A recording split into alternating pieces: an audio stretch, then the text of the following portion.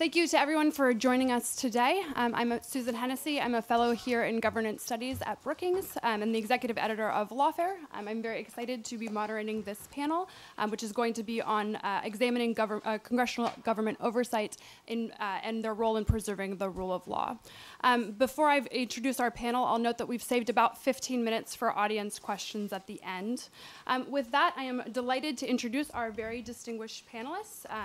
I will go uh, from closest to furthest. Um, so first uh, is David Jolly. Uh, David served as uh, in the U.S. House of Representatives from 2014 to 2017, representing Florida's 13th district. Uh, Mr. Jolly has held an impressively diverse array of positions in Congress, ranging from an intern to a member. Um, uh, and has worked outside of Congress as an attorney and political consultant.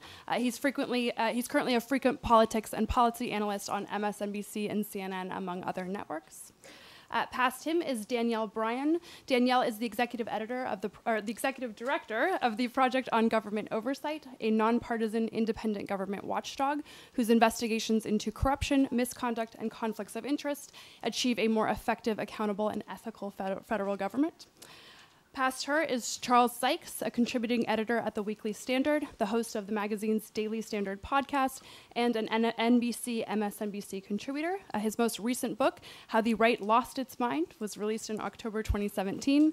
Mr. Sykes is currently a member of the Knight Commission on Trust, Media, and Democracy, is on the advisory board of the Democracy Fund, and is a member of the board of Stand Up Republic. Past him is Congressman Elijah Cummings, who currently represents Maryland's 7th District in the U.S. House of Representatives and has since 1996.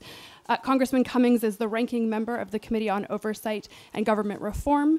Uh, Representative Cummings is also a senior member of the House Committee on Transportation and Infrastructure. So before we dive into what I hope will be a lively and conversational discussion, um, I've asked Congressman Cummings to start us off by sharing some of his thoughts on what the role of Congress is in preserving and fortifying the rule of law. First of all, uh, good morning, everyone. Good morning. I'm sorry. Good morning, everyone. Good morning.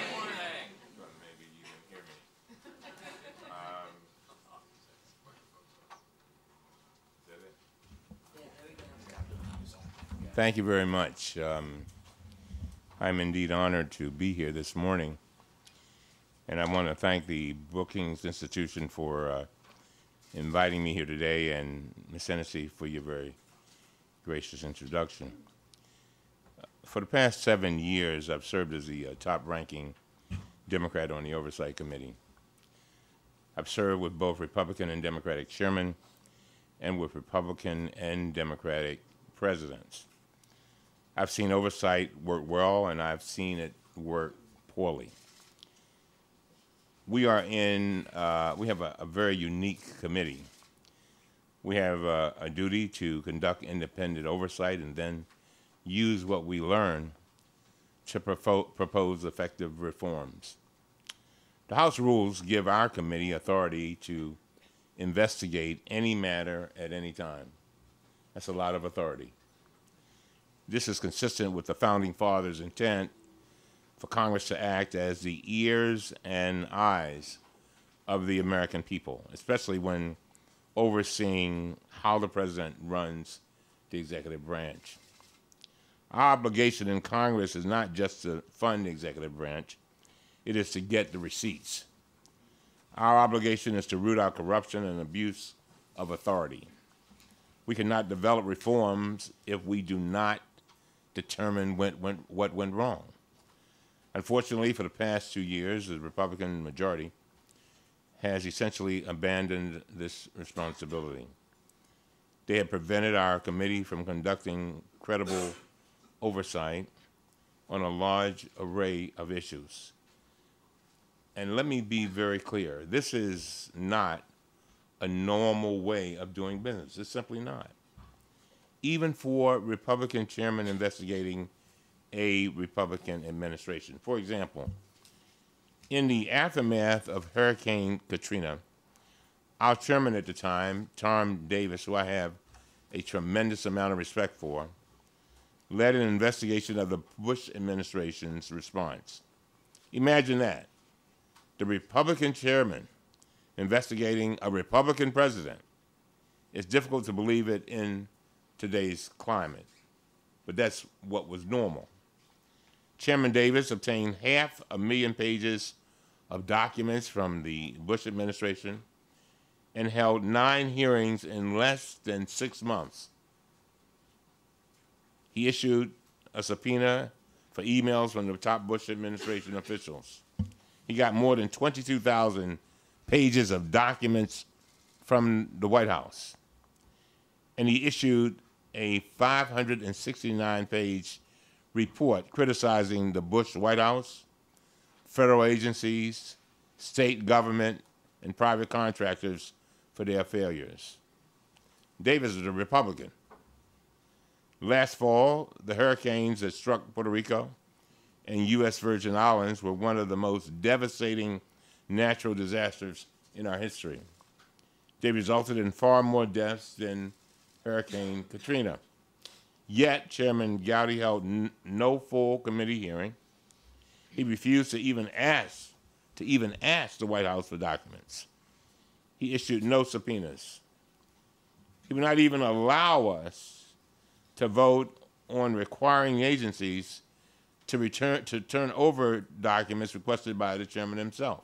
He requested the, the, the documents and then would not back it up when basically the White House said, hell no, I'm not giving you a damn thing.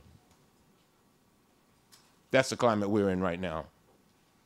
The problem is that when you look back at the report Chairman Davis issued after Hurricane Katrina, he warned about the exact problems we are seeing again today. He warned that FEMA should have should have contracts should have had contracts in place before the hurricane to provide emergency services, food, and water. That seems basic, but after the hurricanes in Puerto Rico, FEMA had to rush to award a contract worth, listen up, worth more than $150 million to a small business that other agencies had essentially deemed ineligible. They had to cancel the contract within days, and people were starving in the meantime. We're better than that. Why has FEMA reverted to its past mistakes? Why did the president head out for a long weekend at the golf course in New Jersey in the, in the immediate aftermath of the hurricanes?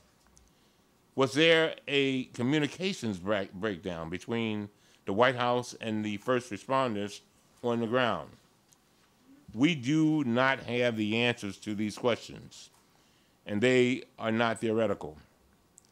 They can mean the difference, ladies and gentlemen, between life and death. The American people want their government to work effectively and efficiently for them. Oversight is what makes that happen. The name of the committee is Government Oversight and Government Reform. Oversight means you got to have information. If you don't have information, you, are in trouble. You got to protect whistleblowers. A lot of our research comes from uh, uh, whistleblowers. Got to protect them. During the eight years of President Obama's administration, I worked repeatedly with Republican members of our committee to investigate and conduct bipartisan oversight of the executive branch. As I close, in fact, not many people know this, and this is going to shock you, but I signed as a ranking member more than 800 bipartisan letters with Chairman Chaffetz and Chairman Issa. I'm not sure, but that very well, very well may be a record. The founding fathers charged Congress with serving as a truly independent check on the executive branch. It is time for Congress to do its job. We need to hold hearings, obtain documents, and if necessary, issue subpoenas. That is how we will hold this president and this administration accountable to the same standards to which we have held every other president and every other administration. Thank you.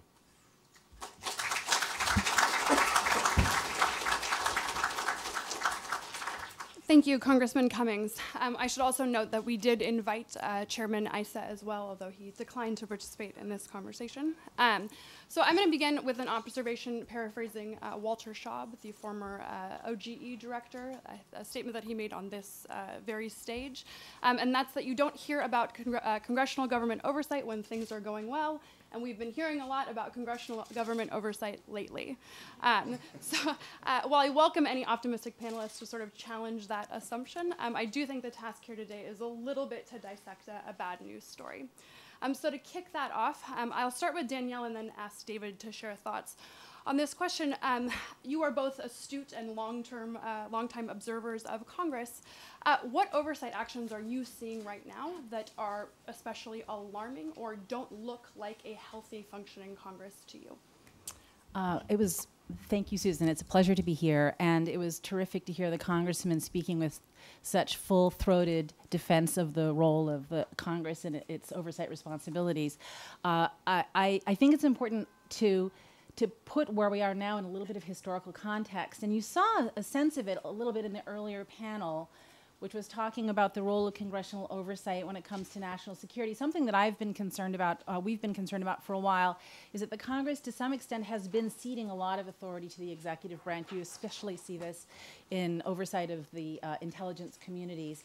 And you heard uh, Congressman Schiff referring to trust from the agencies to, to be able to get information as Congress.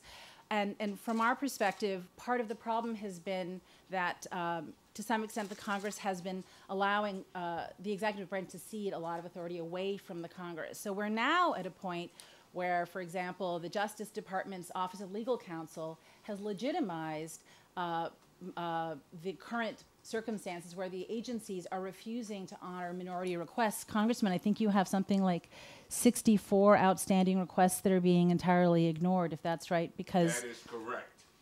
Uh, uh, and, and, and so that's just a completely broken system. If the Congress has sort of allowed itself to be getting ignored, and now it's literally being ignored.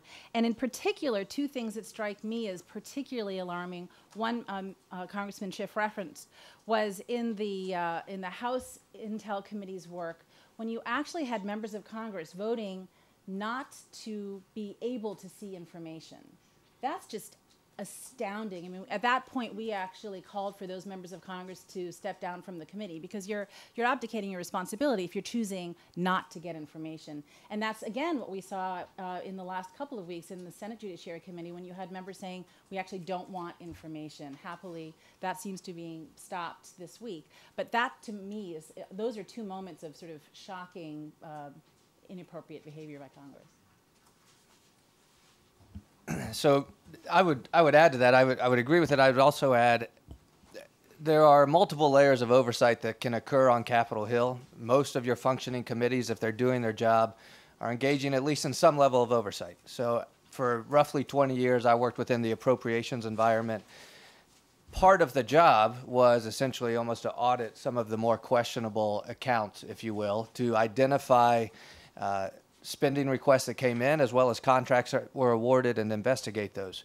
But it was it is only one function of your standing committees, which is why the importance of the oversight committee, particularly in this environment, uh, comes into focus. As a, a student of the institution, I always like to point out there are two areas in which we, as voters and as citizens, uh, can approach judgment of political actions. The first is in basic moments of integrity, leadership integrity, political integrity, decision making. It is fair for us to make assessments of the integrity with which leaders serve. The second is to begin to examine the structural challenges that have brought us to where we are. And those are two very different things. The first lane has a little more passion to it, uh, the second is a little more academic, if you will. But look, two examples that kind of highlight where we are in this oversight environment. Though it was a special committee and not the House Government Oversight Committee, go back to the Benghazi investigation, where the majority leader at the time, Kevin McCarthy, in his quest to become Speaker of the House, admitted, admitted that the investigation was a tool to try to hurt Hillary Clinton's viability as a candidate. It was not to get to the to the facts. it was to be used as a political tool. We are in an environment, to the congressman's uh, credit and to the points he were making, where the oversight committee has become a tool of the majority. And I will say this as a Republican at the discretion of a Republican majority over the past decade. To his point, it was not always like this. But the current class of Republican leadership has decided that the committee is a political tool that they will use in times of divided government against a Democratic president, and that they will not use during the time of the Trump administration. That is simply the reality. We can have a longer conversation about the structural challenges, but the last thing I would add in that lane, and it is a academic answer to a more passionate question. I think we could begin to approach a conversation of whether or not we should give the minority greater tools on the oversight committee, regardless of who controls the Congress. Approach it more like the ethics committee, where you have an evenly divided committee, equal number of members on both sides of the aisle. Perhaps grant subpoena authority to both the chair but also the ranking member, or perhaps create a consensus way to, to issue subpoenas some tool that empowers the minority on oversight greater than they are right now, and then trust the leadership and trust trust the ability of those competing interests, if you will, to function. So, Charlie, I'm interested uh, both in your observations on anything we've heard thus far, but also to the extent that Danielle and David both focused on uh, some negative things that we are seeing occur, um, whether or not you think that there are areas of congressional inaction uh, inaction in sort of areas of traditional congressional oversight function uh, that you think people also should be paying attention to? Yeah, thank you. Um, I, I, think this whole subject is really a, um, an indication of institutional decay. Uh, the the Congress was not supposed to be a constitutional potted plant. It was supposed to, the Article 1 is Article 1 for a reason, and I think the, the abdication of responsibility is one of the is, is, is one of the tragedies of our time that that that members of Congress just don't have the pride to say we are a co-equal branch of government. But I think what we're finding out, and I will get to your question, is is the whole system of checks and balances more of a metaphor, um, and that our system of government, with all of the norms, a lot of it is based on an honor system. And what happens when you have dishonorable people, you know, invested with this this uncheckable power? So in terms of things that are not being, and, and, and I'm really glad that Congressman Cummings uh, uh addressed this because you know, I've been told that it's naive to expect a, a political party to exercise oversight uh, to an administration of the same party um, under normal circumstances. Obviously, you've answered that. These are, of course, not normal times. Um, but I think, in terms of things that ought to be investigated, and i will give you five just right off the top of the bat. And I think that Congressman Cummings uh, highlighted probably the most egregious example of things that were not investigated the failure of the Congress to hold hearings or, uh, or oversight into the government's handling of the hurricane in Puerto Rico. Is, uh, is, is, is frankly indefensible. There's, there's, there's, no, there's no possible justification for that. But that's also true on a number of different uh, areas. Why do we not have uh, congressional hearings, public hearings about what is happening on the border with the separation of children? You know, how did this become a strictly partisan issue? Why does uh, every, everything that we're finding out, you know, we find out on television, but members of Congress have not exercised oversight into uh, what, it, what appears to be either in reality or potentially a humanitarian uh, uh, crisis. And of course, certainly a bad moment for uh, the American brand, which, by the way, I hate that term brand. Um, I think it was Senator Whitehouse who used the term open corruption. Um, I think that this is obviously one of the areas to to have Congress begin to ask about conflicts of interest, um, about in fact um, the the wh- wh- whether or not there are elements of kleptocracy in our own in our own system, and just based on the news in the last 24 hours, this would be a great time to have congressional hearings about uh, income tax forms. And, and, and, and ask some fundamental questions about uh, not just the president's uh, in, income tax forms, but, but really, frankly, as, as, a, as a larger investigation of the manipulation of, of the system. Um, and obviously, uh, and I'm going to get to, to Russia and the, what Congressman Schiff has talked about. Um, it is one thing for Congress to fail to exercise its watchdog functions.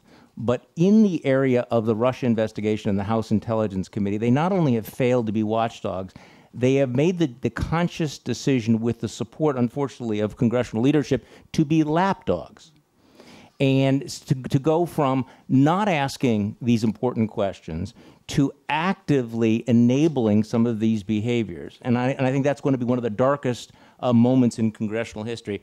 And finally, um, I would certainly hope that the next Congress, on this issue of the rule of law, will ask very, very tough questions about the communications between the White House and the Department of Justice, the communications between the White House and the FBI, to really probe into um, whether there is undue influence, um, political influence over these processes, because this is really the nexus of the rule of law. When you have a president who I think is, is either ignorant or, or actively contemptuous of the rule of law. And right now, there are communications going on um, within the Justice Department, within law enforcement, and within the White House that I hope that we will learn more about um, with congressional oversight.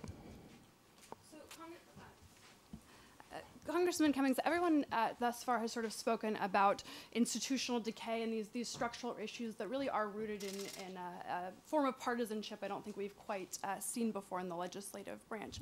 Um, I'm wondering if you can speak to some of these specific challenges of conducting oversight in the minority. So, um, what are the tools that you need? What are, what are the specific issues that, that you're coming up against as the ranking member?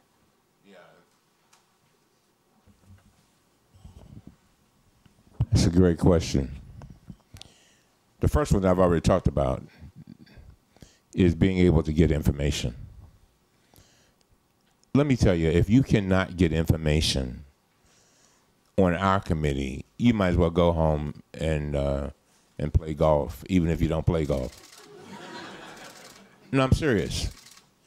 Um, you you cannot you cannot do it. Um, and Charlie made a great point.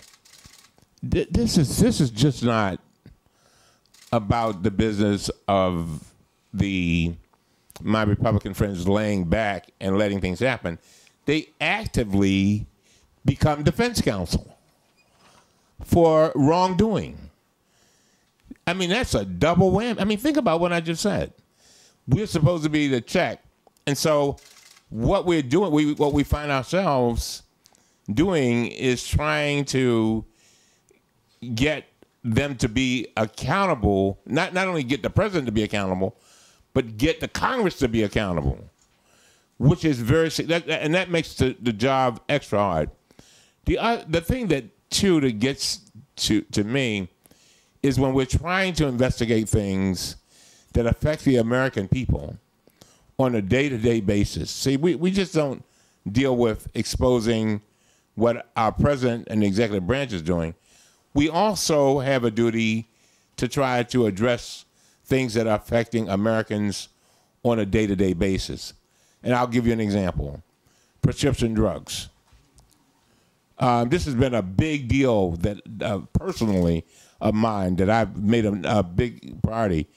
You have to beg, literally beg and plead to bring in somebody like Shirelli, who uh, who jacked up the price of of uh, life saving medic- medication a thousand times, and and and and and and so, but in most instances, they will not even allow us to even bring people in like that. Because again we're trying to do what?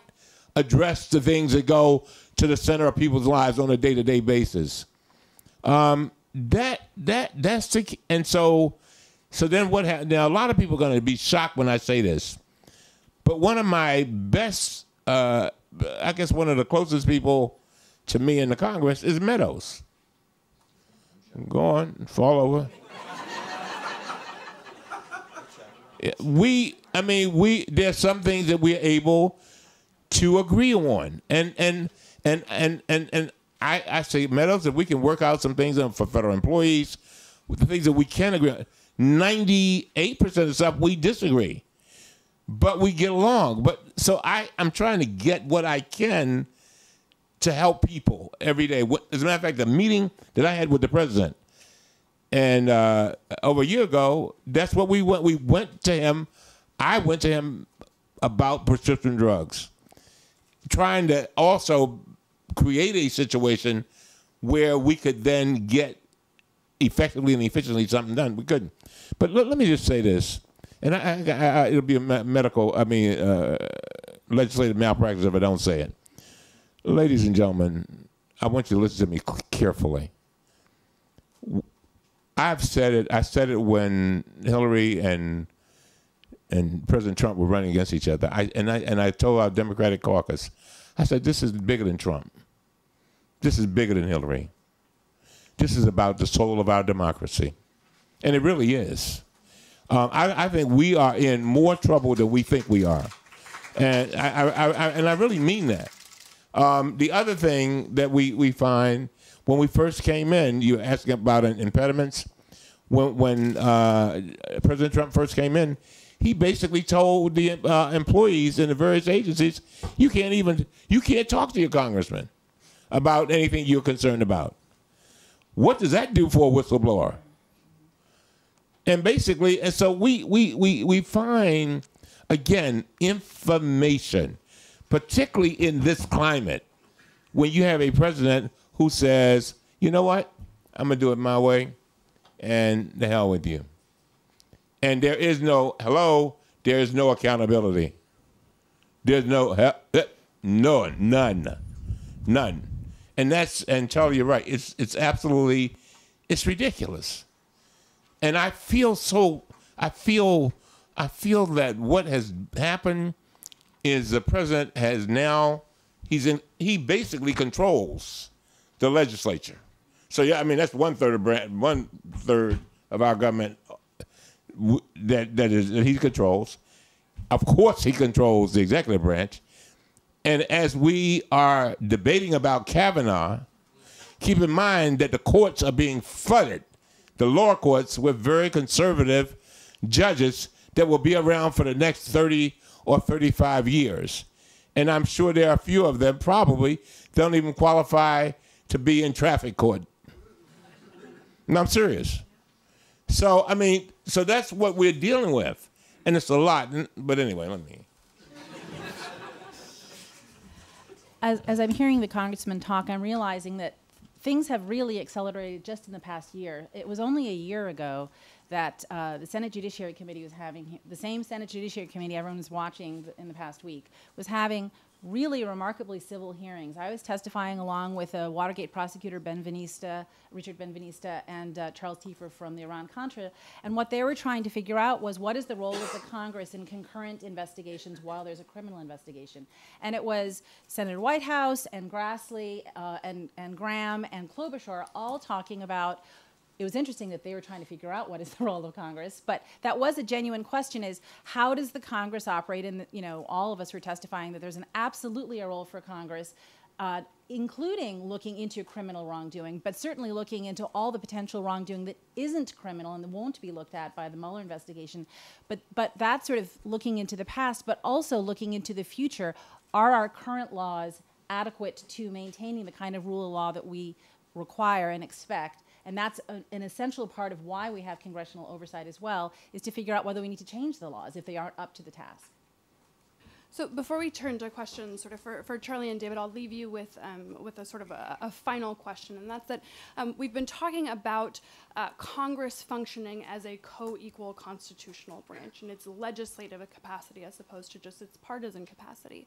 Um, we're also seeing something pretty unprecedented occur within the executive branch, and that's the executive branch essentially attacking itself. You have the President of the United States calling out civil servants, sometimes by name, criticizing the decisions of agencies that he himself controls. Um, what do you view as the role, if any, of the legislature in the face of, of this really unusual uh, circumstance? I think they have a very specific role that they have resigned over and failed to uh, to assume, and it is because these behaviors we're seeing of the executive branch are either outside of the constitutional authority of the executive or outside the practices of the executive. Either way, it is within the jurisdiction of a co-equal branch, as as Charlie said, Article One branch, to investigate and look into. And I appreciate Congressman Cummings providing some urgency to this because I agree very much with that urgency. And my concern after 20 years of, of working on or, or with the Hill, I came of age working for a member of Congress who ultimately served 43 years. He was the longest serving Republican uh, on the House at the, uh, on the Hill at the time.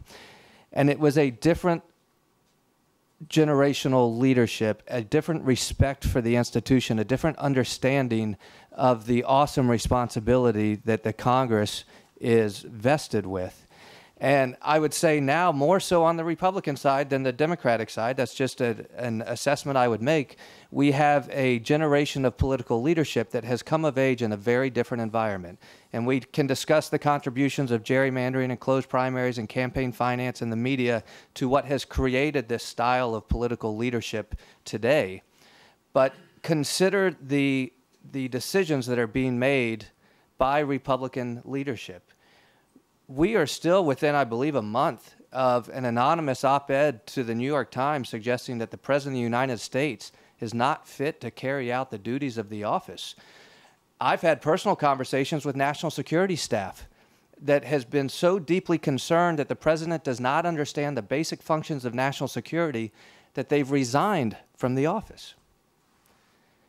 What does this generation of Republican political leadership want to investigate? Hillary Clinton who hasn't been in office for years. And I'm not suggesting we drag the author of this op ed in front of the nation. Frankly, I think that would be bad for the nation to have this debate under the spotlight of an open hearing. But to suggest that these allegations have been made by a White House insider about the chief executive's fitness, and there is not at least a private interview between oversight actors on the Hill and this individual and other members of the administration who have left over the same concerns gets back to one of the first points I made, which is it is fair as voters and citizens to make raw political judgments about the leadership integrity of the people who currently occupy offices on Capitol Hill. Well, Susan, your, your question goes back to how not normal our times are. You know, the, the fact you have an executive branch that is divided, uh, um, you know, um, among themselves. I, I, think part of this is also getting members of Congress, though, to rethink what their role is. That that this oversight function has become more important rather than less important, even though it's been downgraded. But they need to start redefining themselves as tribunes of the people rather than, as Congressman Cummings points out, agents of a political party or even worse, agents of the administration. Because right now, I do think that you have a lot of members of, of Congress that see their role as the defense counsel for the Trump administration, which means that they've decided that their partisan agenda is more important than their constitutional responsibilities to provide the check and balance. I mean, that's, that's a fundamental question about what do congressmen think they are there for? What is their role? One last point, though. I just want to sort of toss this out. I know we don't have a lot of time. Um, I, I, I had the nagging sense last week that what we saw with the Kavanaugh hearings in the Senate Judiciary Committee may be a preview of what oversight hearings are going to be like in the next year. And I do think that, that people in the, both the majority and the minority might want to think through how that is going to play out.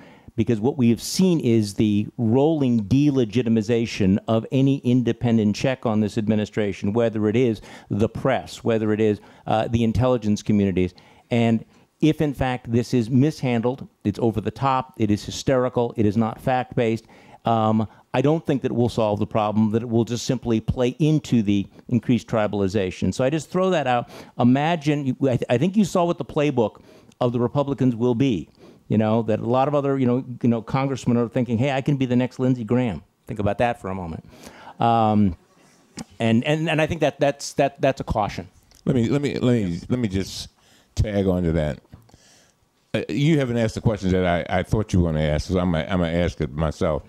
The so how do you deal with all of this?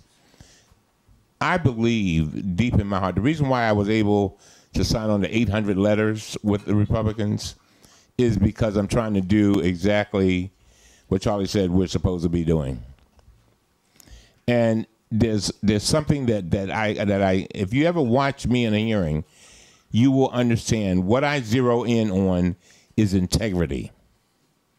Integrity of the committee, integrity of the institution, respect for the Constitution.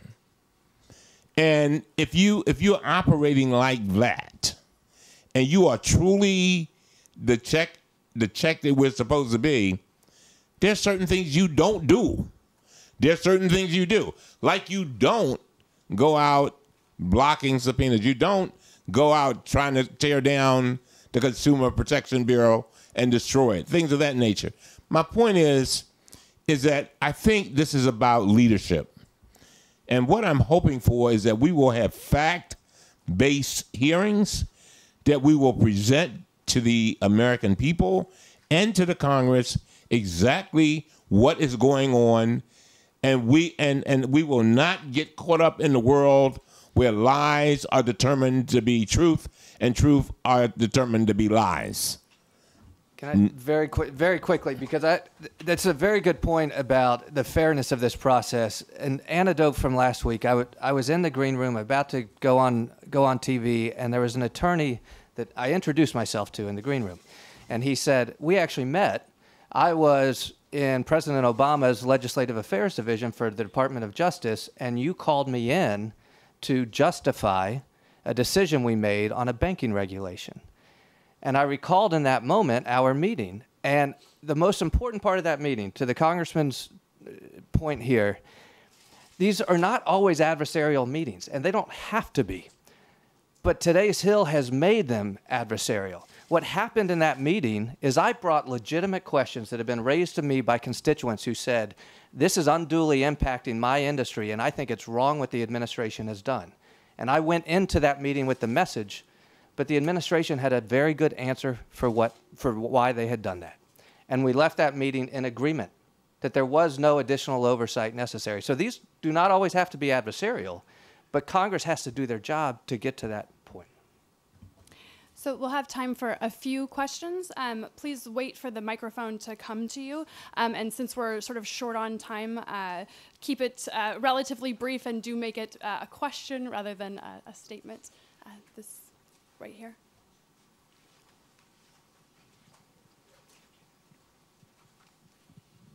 Thank you. Um, formerly of UNHCR, the Catholic Bishops and Lutheran Immigration and Refugee Service. But general question, do members of Congress see themselves as agents of powerful donors whose power was even expanded more by the Supreme Court decision, Citizens United? In many in, in, in many instances, yes, and that's why I've joined with Congressman Sarbanes to try to reverse that. Um, it's clear. I mean, you. I mean, just real quick, the, the, on this pharmaceutical issue, um, I've, I've got uh, Republican congressmen that'll come to me and say, Cummings, man, I love that bill. I love the fact that you setting up uh, with regard to pharmaceuticals. My aunt just went got a prescription last month for fifty dollars, and and then now now it's uh, uh, hundred dollars. Uh, this is great, great, great. But I can't be with you. I, I mean, I hear that over and over and over again. Why? Because dollars and other things. So, my, my yeah, and so yeah. Not everybody, but yeah.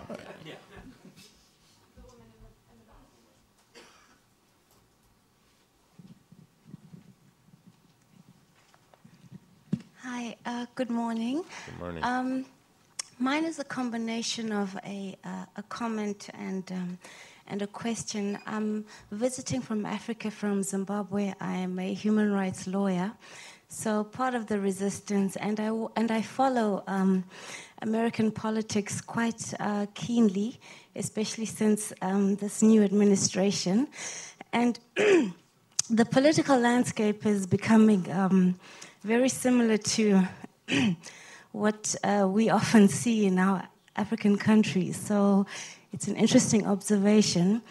Um, one of the panelists mentioned that um, perhaps part of the solution in, in this current political landscape would be to um, provide uh, the minority with, um, with tools that can empower them. We'd also be very interested in, in knowing um, the development of that proposal. Uh, given our African countries, where generally whoever um, is in parliament um, and whatever interests you are protecting or advocating for is really dependent on uh, your political affiliation, which is usually whoever is in, in, in power at the time. So we'd really like to, to learn about that and see what we can glean from, from that proposal. I'll just quickly address that, and I will admit that the last thing I want to do is is play in Mr. Cummings' backyard, particularly if if these are decisions in his jurisdiction in the majority uh, come January. My point is, though, in terms of how the House is structured, the House Ethics Committee, which investigates its own members, is a committee, I believe, with five members on each side of the aisle. And at times that makes it work better. At times that on- honestly creates a complete impasse given the state of oversight today, when you begin to look at the committee on which uh, Mr. Cummings leads, though I don't know politically if it, if leaders on the Hill would agree to do it, I think there are ways to look at the structure of that committee to suggest could we model it in some ways after the ethics committee where each side of the aisle has almost equal representation could we give subpoena authority to both the chair and the ranking? Could we lower the threshold to issue subpoenas? I think what would happen is we would empower the minority, whichever party that is, with tools, but you would also create an environment where the chair and the ranking would now know they each have almost equal tools, if you will, and it would create an environment that perhaps holds off some investigations or accelerates them in moments of complete partisan failure a little bit more on that particular question. That's the kind of thing that has been, in fact, happening for decades. Since about the 1980s, there was a, an opinion inside the Justice Department that allowed agencies to require uh, congressional offices that were not chair of committees to uh, to essentially be treated as though they were public citizens and have to sub- subject themselves to the Freedom of Information Act, which is preposterous. It's wrong. It's something that Congress has needed to change and correct for a long time, but they haven't. So we now have an, uh, a more formalized uh, ruling by the Office of Legal Counsel that is essentially legitimizing uh, agencies formally from withholding any information from minorities. Those are things that have to, I mean, minority requests. Those have to be overturned. Those are just absolutely unacceptable the wrap-up uh, signal, unfortunately. Um, so please join me in thanking our excellent panel for sharing their thoughts.